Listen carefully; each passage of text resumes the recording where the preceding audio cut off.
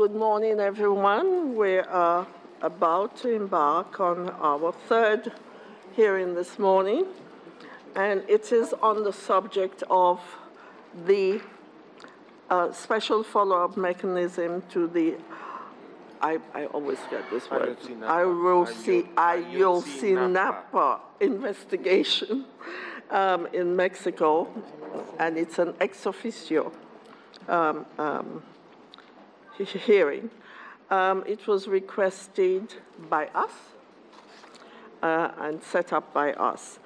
And we have the participants are, of course, the Honorable State of Mexico and the petitioners of uh, precaution measure 409 of 2014, the beneficiaries, next of kin, and victims.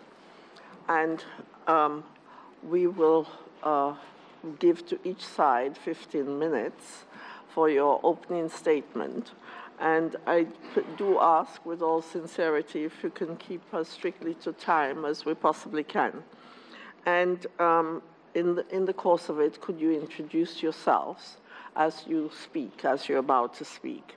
And I will assist you with my, the assistance of Commissioner Cavaliero with the time markers of five, three, and one minute. And with that, I ask you to commence. Thank you. y señoras comisionadas, eh, buenos días a la representación estatal.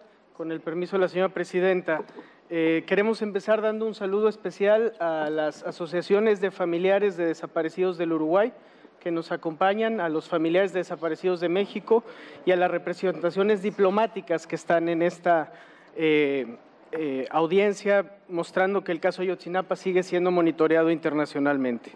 Integramos esta representación el señor Emiliano Navarrete, la señora Blanca Luz Nava, ambos familiares, el licenciado Vidulfo Rosales de Tlachinolan, el licenciado Humberto Guerrero de Fundar, eh, la licenciada Sofía de Robina y un servidor Santiago Aguirre del Centro PRO.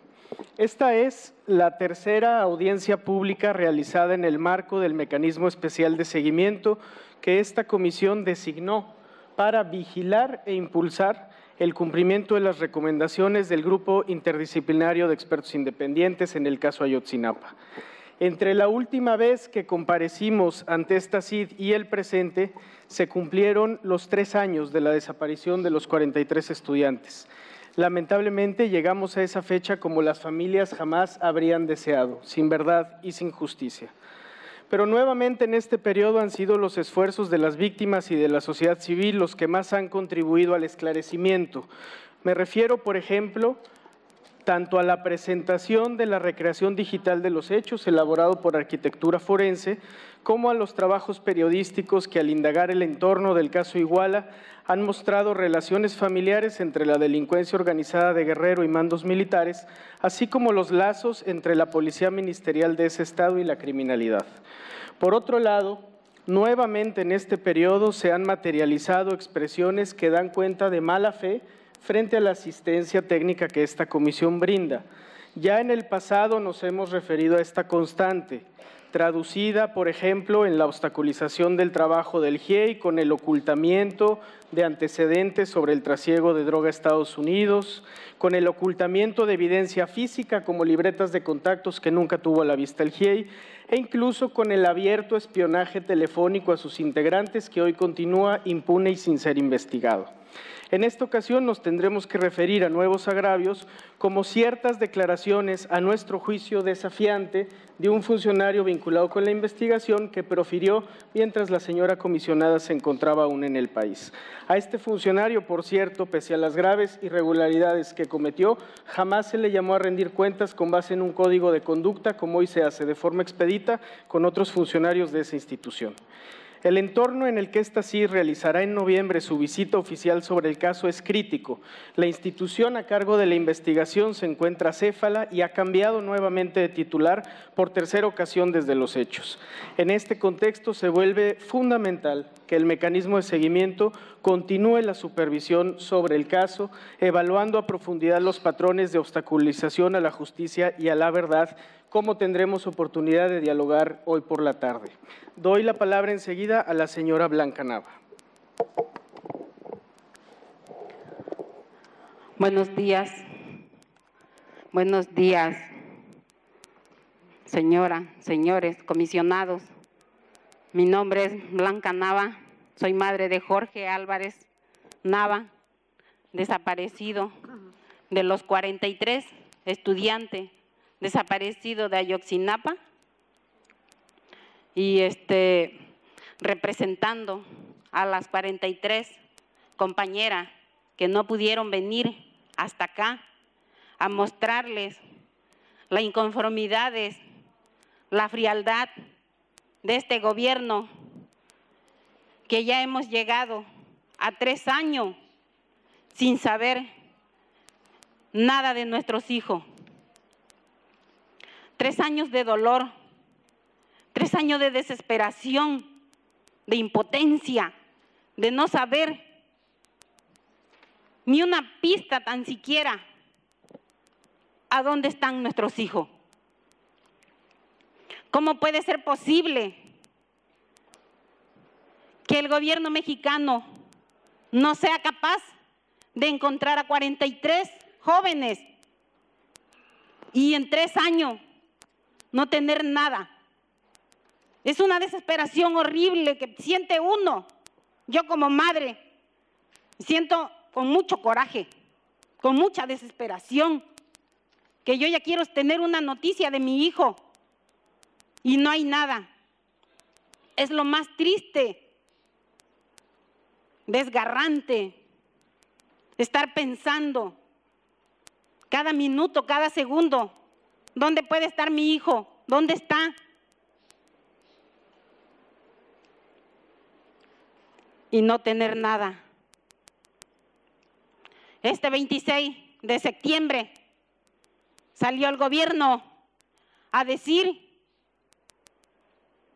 a los periodistas que ya tenía el 70% de avance en la investigación, recomendaciones que dejaron los expertos. Y de eso es una mentira, porque no hay nada. Si así fuera, ya estuvieran diciendo el paradero donde están nuestros hijos, ya estuvieran, cuando menos la pista de dónde podrían estar. es algo que nos destroza. Cada mentira que saca el gobierno, porque aquí presente son unos mentirosos. Desde un principio nos han engañado, se han burlado del dolor de nosotras como madre, de la desesperación que traemos. Cada mentira que sacan para nosotros es destruirnos más a la familia que está en casa cuando se entera de, la, de lo que ellos sacan por televisión, porque no se tientan el corazón para decir una mentira por la televisión. Pero sí, nos están matando poco a poco y no podemos, y no podemos avanzar, porque cada vez que hay algo para avanzar, ellos no los, ellos nos ponen traba para no seguir adelante. ¿Cómo puede ser posible que a tres años y estemos esperando que el juez decida revisar nuestro caso? ¿Cómo puede ser posible, digo yo, que no haya justicia en México? Que sean tres años sin saber, sin abrazar yo a mi hijo.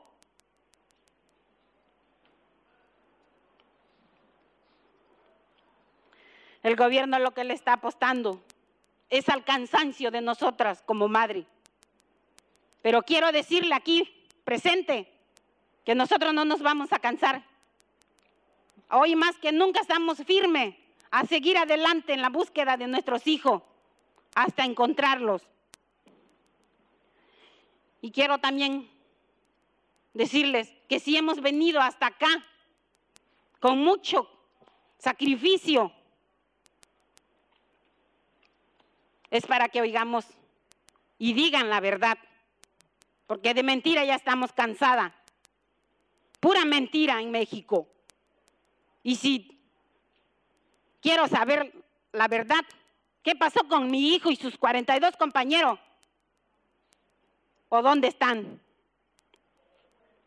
Mi respeto para los comisionados y comisionadas. Pero sí, pedirles que sigan acompañándonos como hasta hoy lo han hecho durante estos tres años. Porque gracias a ustedes y ustedes son la esperanza de nosotros como madre, de tener una pista, de encontrar la verdad, de saber el paradero de nuestros hijos. Le doy las gracias a la comisionada que nos visitó en la normal de Ayoxinapa, nos dio palabra de aliento y eso nos dio más fuerza y nos fortalece para seguir luchando y no parar sin descansar hasta saber el paradero de nuestros hijos. Solo les digo a los gobernantes que están aquí presentes, que no me avergüenza cargar la pancarta de mi hijo. Vergüenza les debería de dar a ellos, porque en tres años no los han encontrado. Y yo les pido que por favor ya hagan su trabajo. Ya son tres años de dolor, tres años de desesperación. Y queremos verdad y justicia. Gracias. Gracias. Señores comisionados, muy buenos días. Yo soy Emiliano Navarrete, ¿verdad? El joven es mi hijo José Ángel Navarrete González. El último día que lo vi, le dije que iría por él hasta donde, a donde quiera que estuviera, sin pensar que esto pasaría. Por elementos del gobierno mexicano, fueron privados de su libertad. A tres años no existe justificación de que no sepan en realidad el paradero de nuestros hijos. Una PGR totalmente, ¿verdad? Tres años llevan ya este, cambiando procurador y sin resultados. Nosotros, señores comisionados, ¿verdad? Pues nos da temor, ¿verdad? De que la vez pasada que ustedes van, ¿verdad? A la Ciudad de México, ¿verdad? Hacen un pronunciamiento y al siguiente día sale este señor Tomás Herón, ¿verdad? Pues con unas declaraciones totalmente, ¿verdad? Sosteniendo la mentira histórica que ellos fabricaron. Procurador de la, de la PGR, ¿qué es lo que has hecho para callar a este señor? ¿O qué? ¿Acaso estás de acuerdo con él? ¿O qué influencias tiene en la Procuraduría? Porque pediremos que nos lo digan en nuestra cara como padres. No vamos a permitir que se siga burlando de nuestros hijos, de nosotros como padres y de la Comisión Interamericana de Derechos Humanos.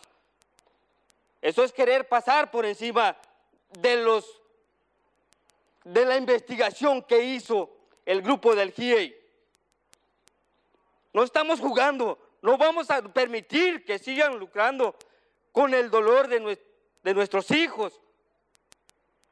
De verdad no existen evidencias, se lo digo yo porque caminé con la policía federal en los hechos, en el campo, y se lo puedo sostener en ese momento que él era el jefe de la Policía Federal, Enrique Galindo. A mí no me va a venir con cuentos este señor. De verdad queremos que le paren la, la boca o que le caigan la boca. ¿O qué es para ustedes esta persona? De verdad, pues si la PGR ha sancionado funcionarios, ¿verdad? Por cometer pequeñas este, fallas, yo creo, en su trabajo, los corren y porque este tipo que no le importa la vida del ser humano de jóvenes de 18 años, no le importa que con sus palabras dañara a una madre o un padre. Merecemos respeto como seres humanos y merecemos respeto por nuestros hijos. Exigimos, porque por nuestros hijos dijimos, vamos a llegar hasta las últimas consecuencias. Y si nos tiene que quitar la vida el gobierno mexicano, lo va a tener que hacer para callarnos. Porque no existen evidencias científicas que sustenten su supuesta verdad histórica que hicieron, querían hacer creer a la sociedad o al mundo entero.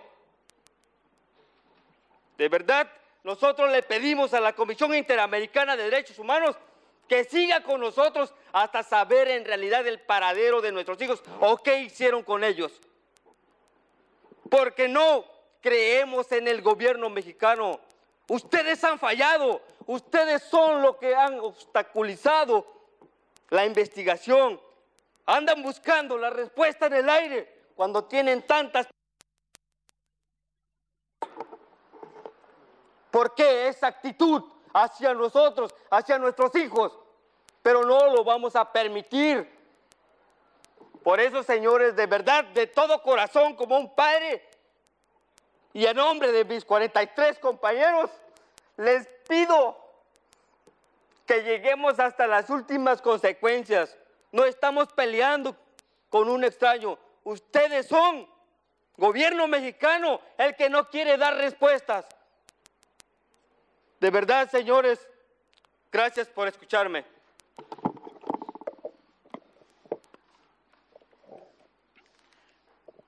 Buenos días, señores comisionados y comisionadas. Eh, quisiera destacar, como lo han afirmado mis compañeros y los padres de familia, que las investigaciones sobre el paradero de los 43 en efecto no presentan avances sustanciales al día de hoy. Por ello queremos poner sobre la mesa de esta ilustre comisión tres aspectos que debe considerar al valorar el cronograma que sobre este tema ha presentado el Estado. Primero, queremos enfatizar que fue el propio Estado quien presentó el cronograma a la Comisión Interamericana de Derechos Humanos para ir evaluando los avances de la investigación. Segundo, el Estado mexicano a la fecha ha convertido el cronograma en un conjunto de trámites formales con los que pretende dar la impresión que avanza en las indagatorias, empeñándose en dar por acreditado cada componente del cronograma de forma aislada, como si con ello hubiese cumplido las respectivas líneas de investigación sin que en realidad logre dilucidar ninguna de ellas y por el contrario diluye la, visión integral de la investigación. El Estado ha referido públicamente que de los 11 puntos del cronograma ha cumplido 7. Sin embargo, la realidad es que a la fecha no tiene ningún policía detenido, ningún militar responsabilizado. En cuanto a las otras líneas por agotar, los pasos que se han dado son notoriamente incompletos. Por ejemplo, se confirmó que la ruta del quinto autobús fue la que los estudiantes sobrevivientes refirieron y no como lo afirmó la verdad histórica sin que hasta la fecha, sin embargo, se haya investigado por qué los directivos de la empresa de la Estrella Roja falsearon información. O bien, eh, acusó a algunos policías, pero se ha omitido ejercer acción penal contra Javier Duarte Núñez, quien fuera director de Seguridad Pública en la fecha en que ocurrieron los hechos, persona vinculada con la delincuencia organizada. Es decir, siempre pasos truncos e incompletos. Por ello, creemos que la CID debe tener en cuenta los avances de la investigación se materializarán objetivamente cuando los policías de Huizuco y federales hayan sido efectivamente detenidos y hayan brindado información sobre el paradero de los 43. Señores y señoras comisionados, el tiempo se acaba y no vemos un compromiso real de este gobierno con la justicia. Gracias.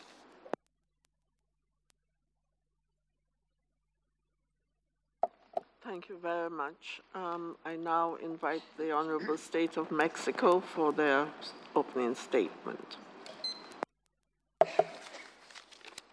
Muy buenos días, señora presidenta, comisionadas, comisionados, distinguidos representantes de los padres y padres de los estudiantes de los 43 aquí presentes. El Estado mexicano ha dejado clara constancia de su voluntad de cumplir todos los compromisos adquiridos ante esta Comisión Interamericana de Derechos Humanos en relación al gravísimo caso de los hechos ocurridos la noche del 26 de septiembre de 2014 en agravio de los estudiantes normalistas de Ayotzinapa. La voluntad de atender todos los planteamientos de este organismo ha estado siempre de manifiesto y la mejor evidencia de ello es que se ha hecho todo lo necesario para dar cumplimiento al cronograma acordado con esta comisión en el que se contemplaron todos los temas planteados de manera específica por los familiares de las víctimas directas. El Estado mexicano reconoce las grandes contribuciones de la CIDH para lograr el pleno esclarecimiento de lo ocurrido el 26 de septiembre de 2014 en Iguala y por ello se han aplicado todos los recursos humanos y materiales disponibles en aras de no dejar ningún tema sin indagar y esclarecer. De los resultados que se han obtenido en el trabajo de investigación, en las acciones de búsqueda y en la atención a las víctimas, que son los aspectos esenciales de las medidas cautelares dictadas por esta CIDH, se ha informado de manera clara y detallada tanto a este organismo como a las víctimas indirectas. Con ese propósito, se han celebrado encuentros en los que se ha transmitido la información generada sobre la atención al caso. Concretamente, en el último año se han realizado al menos tres visitas oficiales de esta comisión, el 10 de noviembre de 2016, el 20 de abril y 29 de agosto de 2017, tres visitas técnicas, el 26 de enero, el 2 de marzo y el 31 de mayo del presente año, así como tres audiencias públicas y las reuniones de trabajo consecuentes, el pasado 17 de marzo en Washington, el 6 de julio en Lima, Perú, y esta reunión.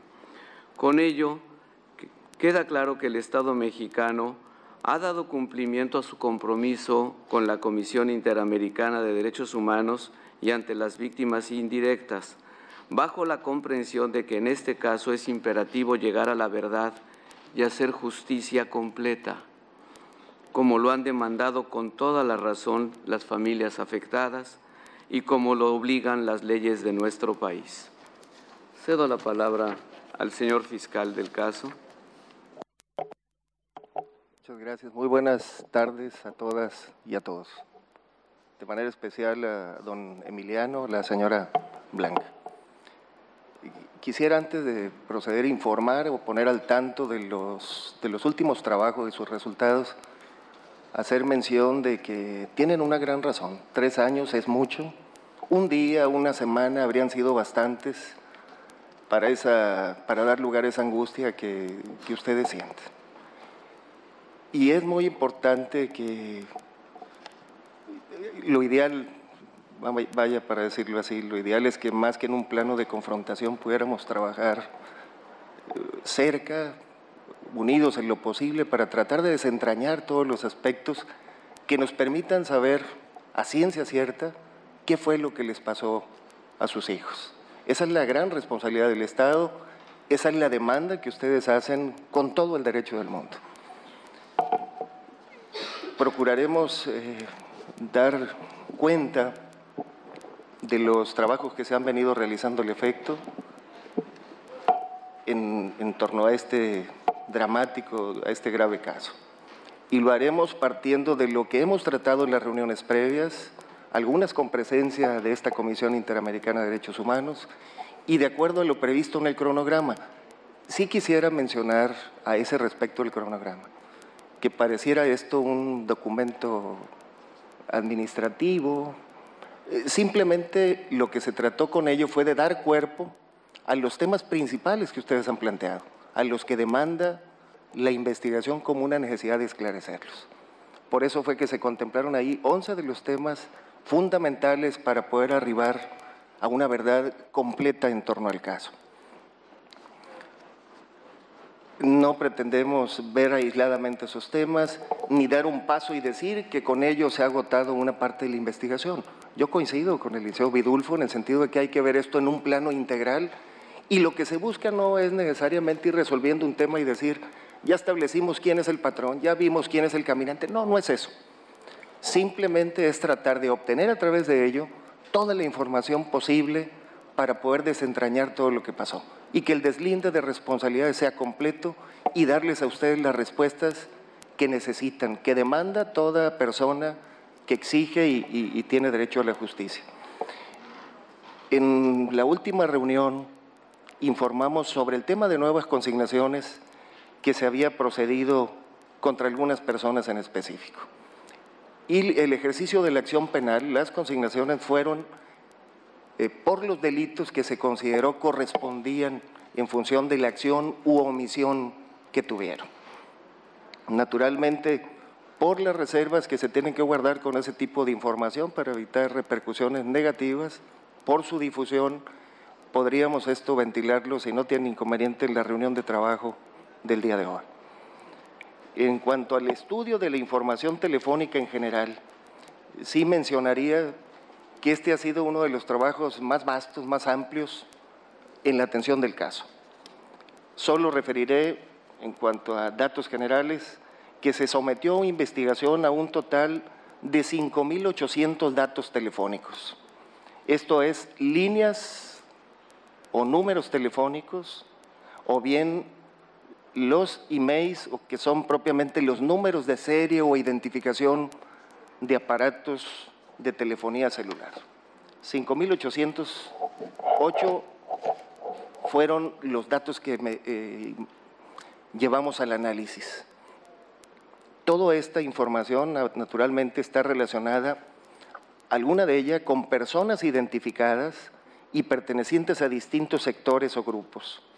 El grupo que para nosotros fue elemental estudiar, naturalmente, fue el de la, telefonía referente a los estudiantes desaparecidos. En la reunión anterior dimos cuenta de alguna información al respecto.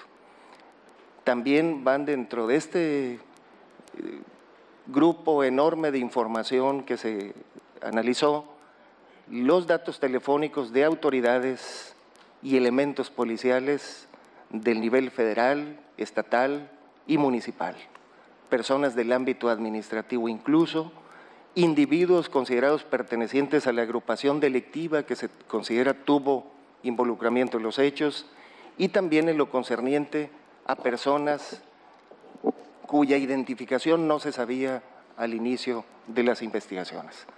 Para efectuar este análisis de la telefonía se hizo necesario, obviamente, recabar primero la información en poder de las empresas que otorgan este servicio.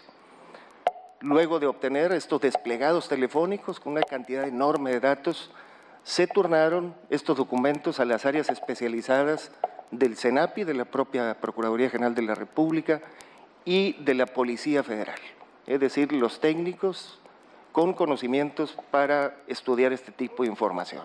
Ellos eh, produjeron los resultados propios de ese tipo de trabajo de análisis, redes de vínculos, incluso en su caso videos de georreferenciación, es decir, de desplazamiento en función de esa información.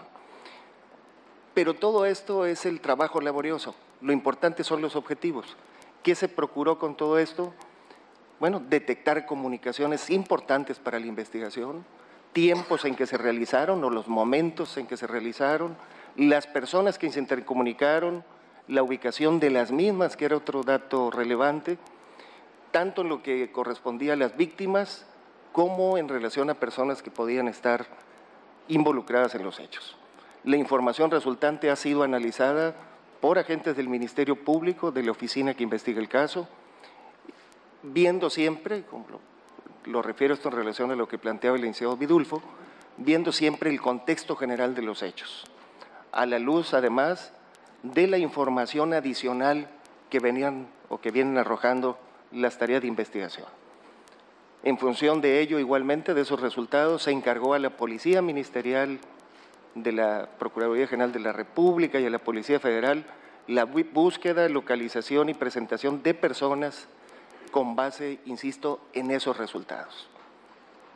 Además, esta información telefónica que mucha de ella fue indicada por el grupo interdisciplinario de expertos independientes de la Comisión Interamericana, se llevó a un grado de profundización que nos permitió obtener información que ha sido base para ejercitar acción penal, para tratar de imputar responsabilidades a distintas personas. Es decir, la información telefónica ha sido base, junto con otros elementos, para llevar esto ante los tribunales.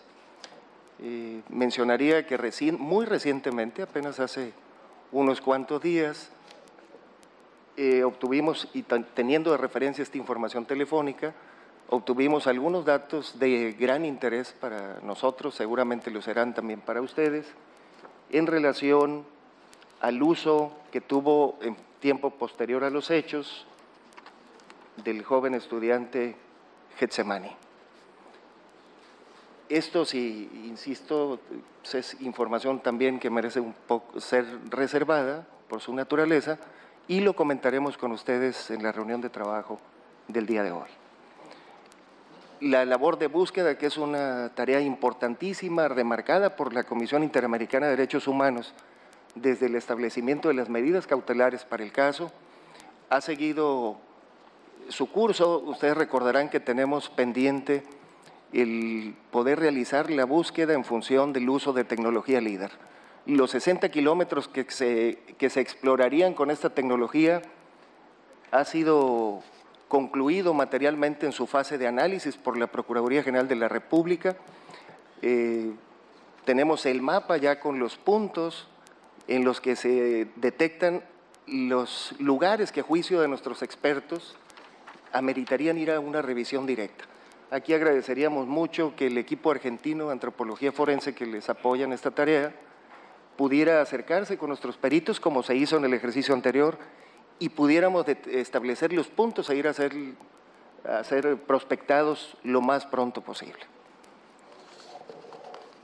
Hay un tema también de los fundamentales en esta materia, que es el, el esclarecimiento del rol del ejército en los hechos. En este, en este apartado pretendemos, como lo hemos ido en todo lo que puede significar o no responsabilidades, pero que merita un estudio profundo, hemos procurado ser lo más exhaustivos posibles, no dejar ningún aspecto sin, sin indagar. Y justamente en ese propósito eh, queremos mencionar que debido a los efectos que desencadenó en la Ciudad de México el sismo del 19 de septiembre pasado, que tuvo, como se sabe, resultados muy trágicos, para nuestro país el edificio de la Procuraduría General de la República, donde está la sede de esta oficina de investigación, quedó inutilizable. Eso implicó, obviamente, hacer cambios de ubicación, adecuación de instalaciones, instalación de sistemas. Eso no nos frenó. Seguimos haciendo diligencias en relación a este tema, tomamos declaraciones, hicimos requerimientos, pero sí vino a complicar esta circunstancia, esta contingencia grave, sí vino a complicar la operación. Queremos aquí pedir la comprensión de la Comisión Interamericana, de los propios padres, de sus representantes, para poder rendir el informe con definición sobre el tema de responsabilidades en esta materia en la siguiente reunión. Insistimos, lo que queremos es ser lo más exhaustivos en esta materia.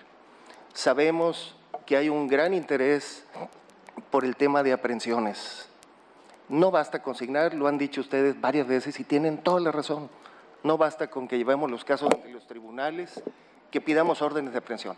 Lo que importa es detener a las personas que sean responsables, sobre todo porque con ello se abre una vía para obtener información preciada sobre lo ocurrido. En este caso les informaría que el grupo especial que fue asignado de 92 elementos a la oficina de investigación tiene esto como prioridad, ubicar y detener a quienes se les ha fincado previamente una, un motivo de responsabilidad a través de las órdenes de aprehensión.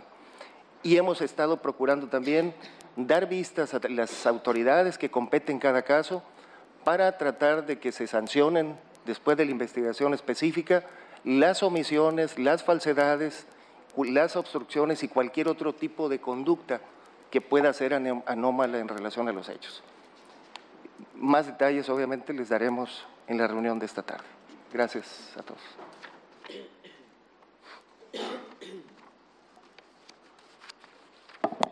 Um, thank you very much. I invite my sister, Commissioner Esmeralda, to make her intervention.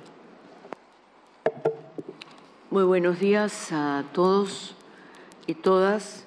Mi especial saludo a los padres, familiares de las víctimas, a sus representantes que en el día de hoy nos acompañan, al ilustre Estado mexicano por eh, estar presente en esta audiencia y también expresar un mensaje de solidaridad para eh, todas las, eh, todos los familiares que, como bien decía la compañera no han podido estar presentes en el día de hoy, em, reconociendo eh, ese dolor, esa eh, impotencia que expresan eh, con, con, la vehemencia que el caso les, les produce. El Estado de México, el Estado mexicano, perdón, quisiera hacer algunas algunos apuntes, particularmente, eh, como lo decíamos en la reunión última que tuvimos en, México, el cronograma que se presentó, que evaluamos y que efectivamente nos poníamos de acuerdo para poder concentrar algunos, algunos puntos claves presentados también por los representantes de las víctimas para, para poder ir eh, midiendo de una manera más, más puntual, más precisa, algunos avances que requeríamos para llegar al final de los objetivos, como bien se ha apuntado aquí. Tendría con respecto a la tecnología LIDAR eh, una, una, preocupación.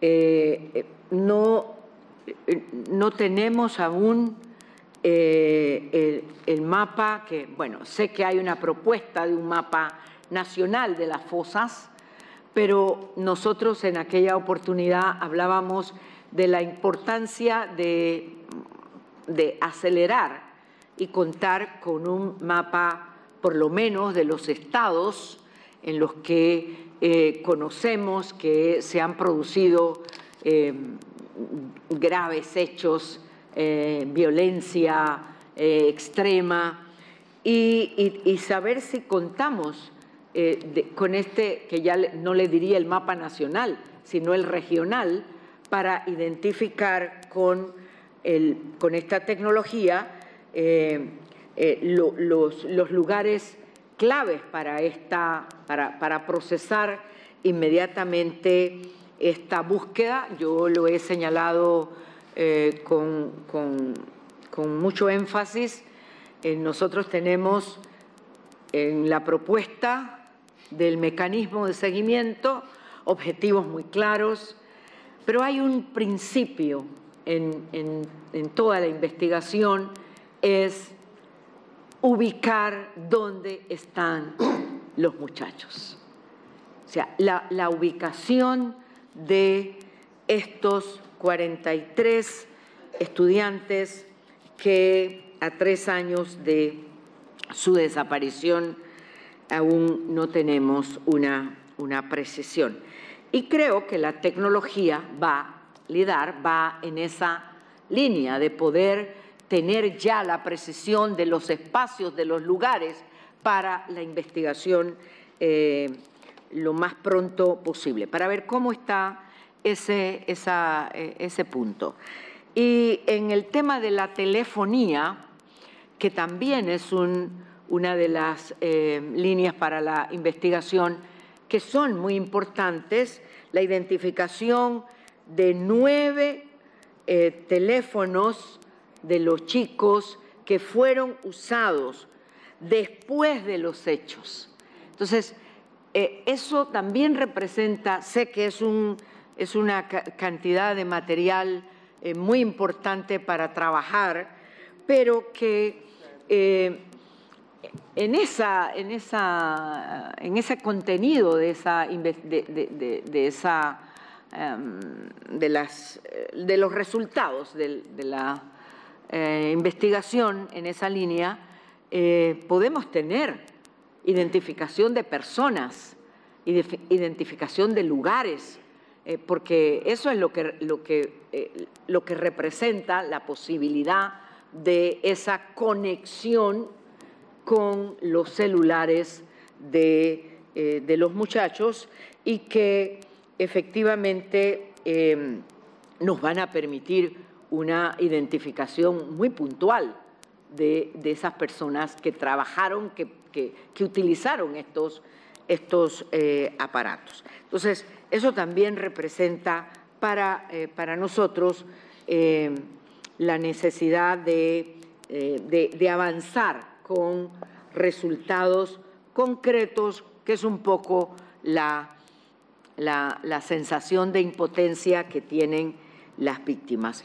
Y, finalmente, para, para, no quitarles el, el, tiempo a ustedes, pero que, vamos a mirar en la, reunión de trabajo, eh, yo quiero también, y esta es una pregunta a, a, los representantes de las víctimas, eh, ¿cómo ustedes evalúan los avances que en este tema de atención a las víctimas, eh, Aldo, si está ya en su casa, cuánto tiempo estaríamos pensando en que esto puede tener una respuesta eh, más inmediata y la atención de, Jorge, creo que es, eh, ¿es Jorge, el, Edgar, Edgar.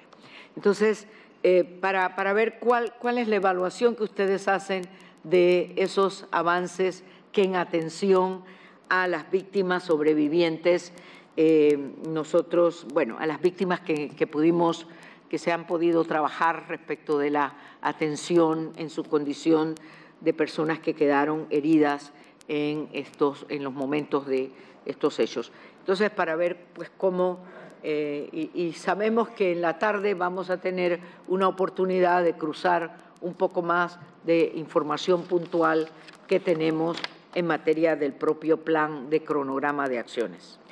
Gracias. Um, I now invite um, the Commissioner Cavaliero to intervene. Thank you, Madam President. I will try and be succinct. Uh, saludos a los familiares, sus representantes, a los representantes este, distinguidos, este, representantes del Estado mexicano. Dos temas. Primer tema, este, en el primer informe del GIE este, el grupo llegó a la conclusión de que 77%, si no me equivoco, de los consignados y procesados habían sufrido lesiones corporales, es decir, eh, premios físicos y hasta torturas. ¿no? Entonces pregunto, ¿qué ha pasado con las investigaciones de los responsables por estas torturas? Y hay que buscar dentro de las autoridades y de la PGR que estaba conduciendo esta investigación. Me lleva la segunda pregunta. Este señor Tomás Cerón ah, cumple una función pública hoy en día. ¿Cuál función? Ah, ¿Y qué ha pasado con las investigaciones de la actuación del señor Tomás Cerón?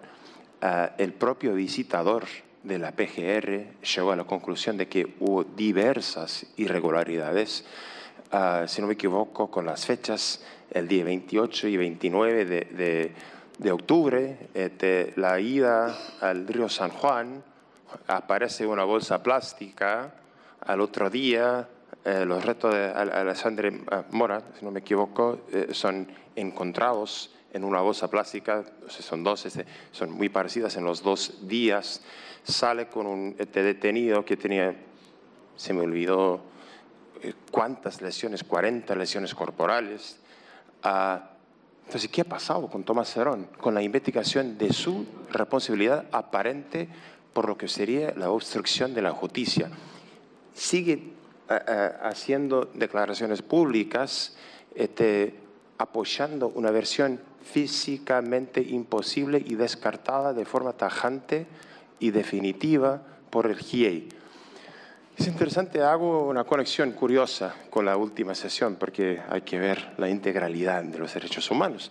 La prisión preventiva, que hay unas 80.000 personas en la prisión preventiva en, en México aproximadamente, muchas eh, sin cumplir con la normativa interamericana que solo permite la prisión preventiva por la obstaculización ¿no? o la fuga, el riesgo. ¿no? Y ahí estamos hablando en el caso de Tomás Cerón, parece, parece que habría razones para sospechar de que tendría el interés en obstaculizar la justicia, cosa que habría hecho posiblemente el día 28 y 29 de octubre de 2014, y entiendo que sigue cumpliendo una función ah, ah, pública ah, y, me gustaría saber qué ha pasado con lo que hizo el visitador, qué ha pasado que personas que siguen defen- defendiendo esa tesis imposible y descartada cumplen funciones públicas y esas personas, como el caso de Tomás Herón, n- no sé qué pasó con la investigación de la obstrucción que aparentemente habría este, realizado el día 28 y 29 después eh, de octubre, su papel y el papel de otros en los abusos físicos que sufrieron 77% por la constatación de las autoridades mexicanas, este, lo- lo- este, lo que tiene de lesión corporal. Entonces, ¿qué pasa con ese lado de, de la investigación? De repente, si hubiera interés en seguir esa línea de investigación, de cómo la investigación salió del camino cierto, por qué salió del camino cierto, quiénes eran los responsables por ese desvío de- la investigación, ahí de repente podría ayudar a indicar hacia dónde tiene que ir la investigación para identificar qué pasó con este, los 43. Muchas gracias. I, now, I now invite um, Commissioner Vargas for his intervention. Bueno, yo siempre voy muy concreto, siempre voy muy concreto a los hechos y soy correlator en este caso. Eh, quisiera preguntarle al Estado eh, si en vez de esperar a que el grupo de investigación forense argentino colabore con el Estado, ¿no sería más adecuado que fuera el Estado el que vinculara a este grupo de antropología forense a la investigación, pero, pero que sea el Estado el que lo invite, el que lo proteja, el que le diga, eh, porque de afuera, a ojo de buen cubero, el hecho de que nosotros estemos hoy diciendo que el GIA, el, el grupo de investigación, ha aportado más elementos de juicio que lo que ha hecho el propio Estado, pues ya es como la confesión de que definitivamente el Estado o no quiere investigar los hechos o no ha tenido la competencia suficiente a pesar de que tiene todo el aparato estatal de investigación, pero que no se ha puesto entonces al servicio porque no es posible que el GIA haya tenido mucho más claridad que la que tiene el Estado.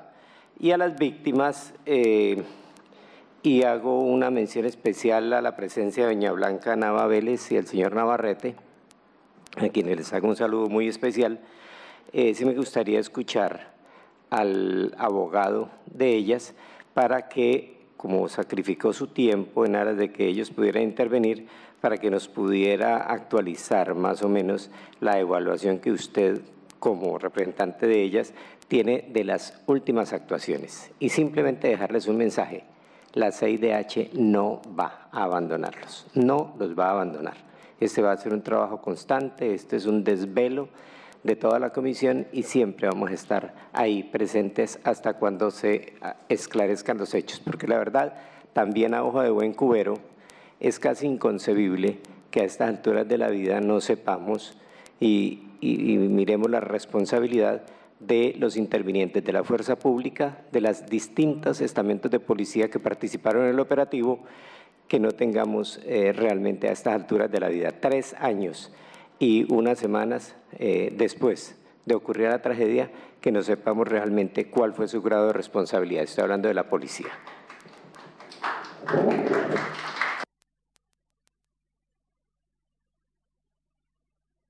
Thank you very much. Um, um, we have very little time. I just, I, I, I am not going to, to be long. I just want to greet the mother and the father who are here today and standing in for the other mothers and fathers. It is the most painful thing to lose a child. I know because a sister of mine lost a child to illness. And this is worse because it's so sudden and so on. But as it has been said, the Commission will be with you step by step to see that you find out the truth about which you're entitled to about what happened to your children. I hope you accept that as being very sincere of the Commission.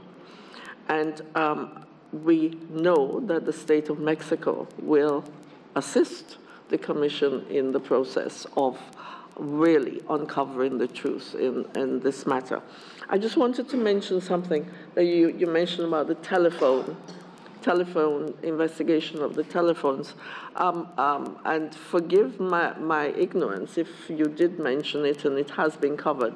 Did you, did you investigate the telephones of the drivers of the, of the buses? And if not, could this be followed? And, and that persons who are involved and interested, the parents and, and their representatives, are told of the results of that investigation. Um, with that, I now invite both sides to make closing statements. I'm afraid we can only give you five minutes each for closing statements in this matter. Um, thank you. Could you start? Thanks. Muy rápidamente le agradecemos a la Comisión sus expresiones de solidaridad. Decir que respecto a la tecnología LIDAR, en efecto, el equipo argentino se encuentra analizando la imagen y ha podido participar activamente en la investigación. Esperamos que en noviembre, diciembre podamos salir a campo. Decir también respecto de la investigación de Tomás Herón que la PGR fracasó en hacerle rendir cuentas. Hubo un proyecto de resolución del visitador general que concluía que sus conductas tenían trascendencia penal. Por hacer esa investigación independiente, ese visitador fue separado de la institución y después se emitió una resolución que convalida las más irregularidades, irregulares actuaciones. Esa resolución los padres y las madres la han combatido en un juicio de amparo en donde cada paso los funcionarios de PGR lo han litigado en contra de los padres para impedir que se suspendan los procedimientos administrativos. Nunca se le aplicó el código de conducta que hoy se esgrime públicamente como razón de la separación de otros funcionarios. Decir eh, también en atención a víctimas que mi compañero Humberto podrá profundizar y que en cuanto a la valoración de los recientes avances, la eh, eh, expresión que utilizó el licenciado Vidulfo es que vemos que en muchos casos se ha perdido la integralidad de la investigación y que el cronograma ha hecho que se diluyan en aspectos muy concretos donde sin agotarse las líneas de investigación simplemente se van palomeando algunos de los indicadores eh, ahí comprometidos. Queríamos solamente aclarar que hemos destacado este tema porque los medios lo que dijeron es que este señor que hoy es consejero de Seguridad Nacional directamente dependiente del presidente de la República, lamentó las declaraciones de la señora comisionada. Eso está en esta nota. Entonces, no sabemos si él tiene la vocería sobre la relación con la CIF. Sí, es secretario técnico del Consejo de Seguridad Nacional y no ha rendido cuentas por haber sustraído a un detenido sin registro, detenido que después apareció con señales de tortura y detenido que fue interrogado en ausencia de abogado. Esa es la realidad rápidamente a lo que refiere licenciado Higuera, eh, querer dejar asentado ante esta comisión que nosotros en ningún momento estamos en confrontación con el Estado. Tanto los representantes como los padres de familia estamos en una lucha porque esto se esclarezca. Y prueba de ello es que se ha colaborado con la PGR cuantas veces se ha, ha sido necesario. Se ha ido a terreno a las búsquedas con la tecnología líder. Se ha estado en todo momento, se ha ido a ver a los detenidos. Ha sido a instancia ¿verdad? de la representación jurídica de que se ha ido a ver a los detenidos para extraer más información que puedan brindarnos para darnos luz donde se encuentran nuestros compañeros.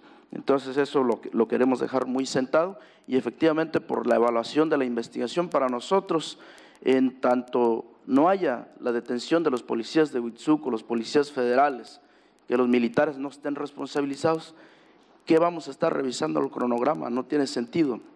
Por eso para nosotros es difícil seguir colaborando con la Procuraduría General de la República porque nos sentamos en la mesa a hablar, nos dan avances mínimos y al otro día sale Tomás Herón de Lucio a desconocer todas esas investigaciones que estamos hablando y tratando de empujar en la mesa, incluso con la propia Comisión Interamericana.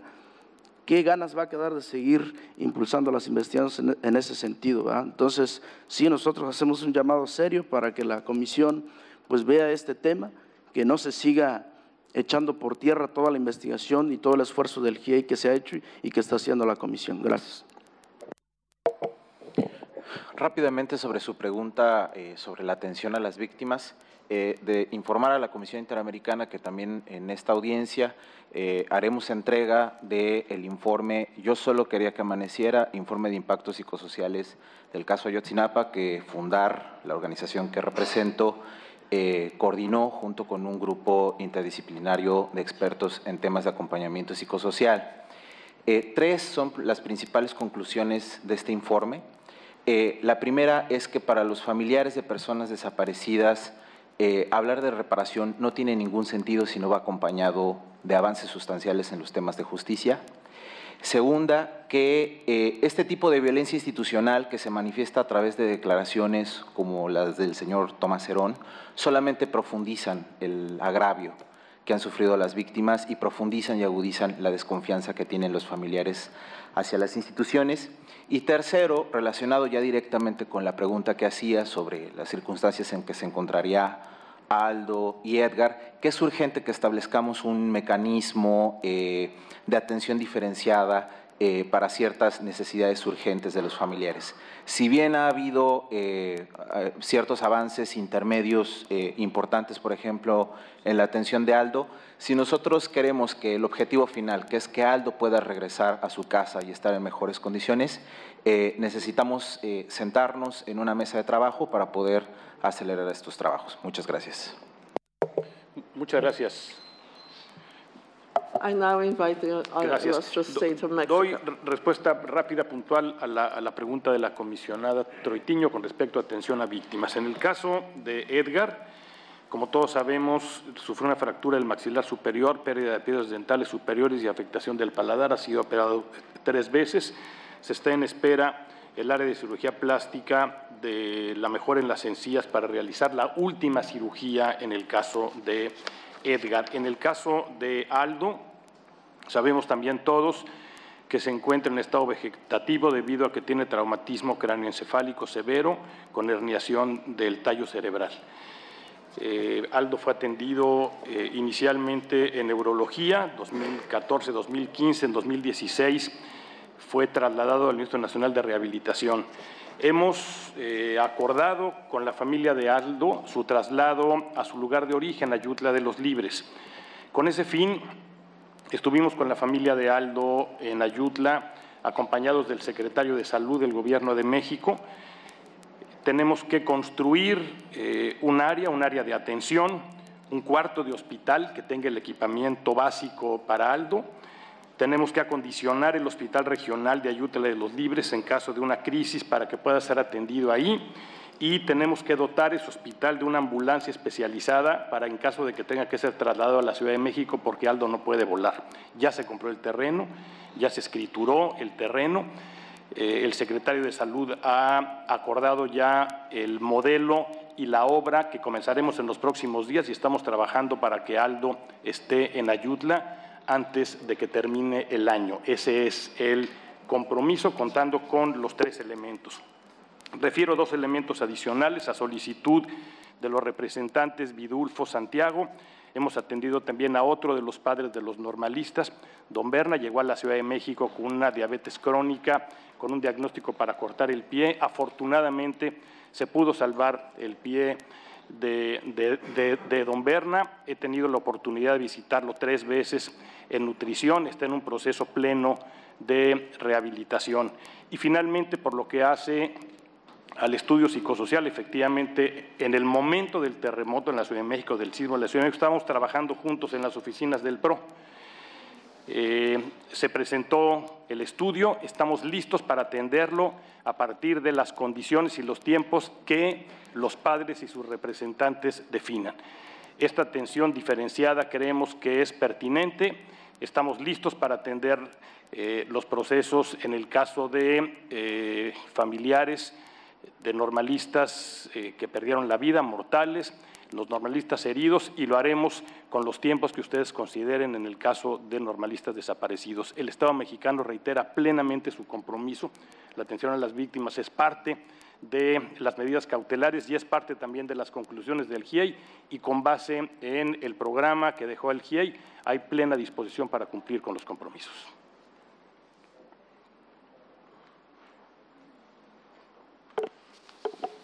Muchas gracias.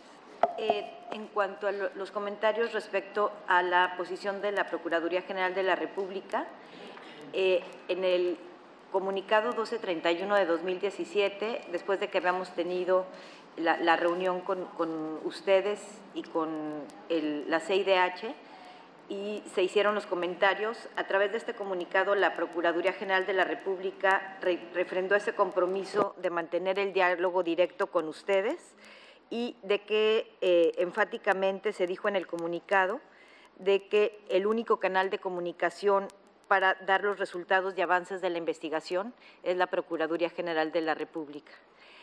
Eh, en, otro sentido, en cuanto a los comentarios que hace el comisionado Cavalaro, los casos que se están analizando las personas detenidas, los 39 casos que tienen dictamen de Estambul, hay algunas personas que no quisieron hacer el dictamen de, Estambul, pero hay 39 con, eh, con este protocolo y dos han sido positivos, los demás han sido negativos.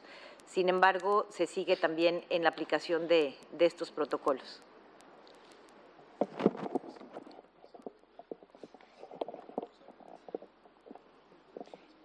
Sí, están en la, exactamente, están en la unidad de tortura de la Subprocuraduría de Delitos Federales, están en investigación. En este momento están... En es- Sí, relación a lo, a lo que indicaba, señora comisionada, del mapa de fosas, la Oficina de Investigación se dio la tarea de configurar un mapa, sobre todo de la zona de conflicto, de la zona de Guerrero, que es una de las más eh, eh, particulares en ese sentido. Lo hemos estado actualizando y la Subprocuraduría de Derechos Humanos a cargo del caso, como hemos informado antes, impulsó un acuerdo en la Conferencia Nacional de Procuradores y Secretarios de Seguridad Pública para dar lugar a una base de datos nacional y el, respectivo mapa de fosas en el país. Eso tendría que haber sido así, dado que en un Estado federal como nuestro, ese tipo de aspectos, si no están expresamente previstos en la ley, se logran a través de esquemas de coordinación y colaboración entre autoridades de distintos niveles. No nos detenemos con ello, hemos eh, estado trabajando sobre los contenidos que debe llevar todo eso, de manera que sea mucho más amplio que lo que prevean las leyes al respecto. Lo que menciona el señor comisionado Cavalaro no deja de ser muy importante el tema de torturas que algunos hayan denunciado o lesiones que, se hayan, que hayan aparecido en los dictámenes médicos respectivos. No es un tema que trabaje directamente la oficina que investiga el caso de los estudiantes normalistas, pero nos interesan muchísimo los resultados por los efectos que estos puedan tener en los procesos y las consecuencias legales correspondientes. Al señor comisionado Vargas refería lo del líder, que si nosotros podemos convocar al equipo argentino. Sí le mencionaría, este es un ejercicio en el que ya se trabajó antes y se procura tener la mayor comunicación posible con un objetivo, lograr el consenso entre los resultados de ese análisis de imágenes e ir a los puntos donde mutuamente haya acuerdo. Y bien lo decía el licenciado Vidulfo, los padres, algunos de los padres han estado directamente en las diligencias pie tierra en este sentido. Si ya tenemos concluido el análisis de nosotros, fueron 276 lugares que consideramos de necesaria revisión. Eh, lo que esperamos es que en los próximos días el equipo argentino eh, nos dé sus conclusiones después de su análisis y, establecer el programa de, de inspección directa. Nos preguntaba, señora comisionada, si telefonía de los conductores fue analizada. Naturalmente que sí. Incluso en uno de los casos del denominado quinto autobús, se hicieron recorridos, todavía en lo que tiene que ver con ubicación geográfica, a través de... Eh, Señores de comisionados, GPS. con todo respeto, se está dando más tiempo al, al Estado. Mm, Listo, es la conclusión. Um, I, I am aware of that. I was going to ask that you use one more minute and 58 seconds to make any comments that you wish to make. One minute and 58 seconds. Yeah? Quick, quick, quick. Hay un minutito. Sorry to rush you, but Sí, no, no hace falta si quieres. No, no, fair. hay obligación. Este, queremos pedirle de verdad al, a la CID, ¿verdad, señores? Este, para nosotros han sido siempre unas personas serias desde que llegó el grupo de expertos, ¿verdad? Mis respetos para esos señores, ¿verdad? Pues seguir, que sigan con nosotros, ¿verdad? De verdad, este, hagámonos por nuestros jóvenes, que ellos son los que están privados de su libertad en una forma inhumana e inaceptable en cualquier parte del mundo, de verdad. Y le decimos al gobierno, al Estado mexicano, que nosotros desde el principio, antes de que quizás conociéramos al fiscal, ¿verdad?, de este Campa, pues lo hemos conocido desde el principio, siempre pusimos como padre toda la información que se necesitaba para poder esclarecer los hechos o para ayudar a localizar a nuestros hijos, ¿verdad? Por parte de la Policía Federal tuvimos mucho este, pues, comunicación, ¿verdad? Entonces, señores, de verdad, llévele al mensaje al presidente que nuestro único interés es encontrar a nuestros hijos y regresar a casa.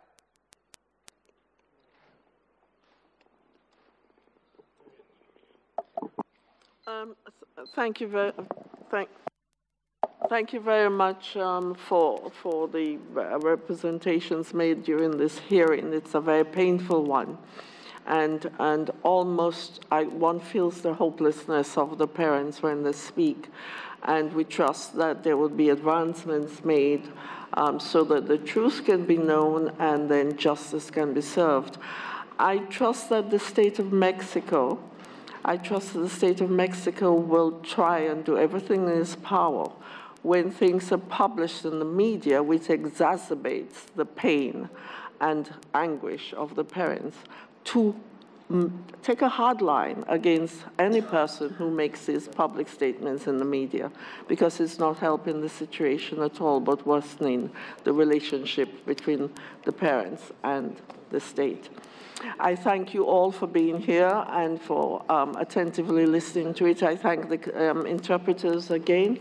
I thank mother and father for being present and for the trust you have in the Commission, and we hope to continue with you in your struggle. Thank you all. This meeting is now, uh, this hearing is now at an end. The next one will start in 10 minutes precisely. Thank you.